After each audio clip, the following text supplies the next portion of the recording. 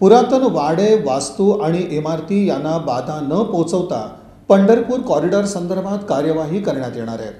विधान परिषदेच्या उपसभापती नीलम गोरे यांनी ही माहिती दिली.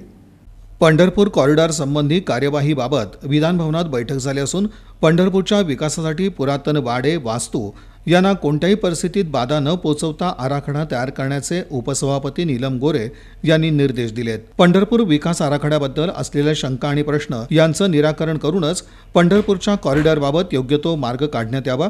याबाबत तांत्रिक मार्गदर्शन करणारे सल्लागार आणि प्रशासन यांचा समन्वय झाला पाहिजे.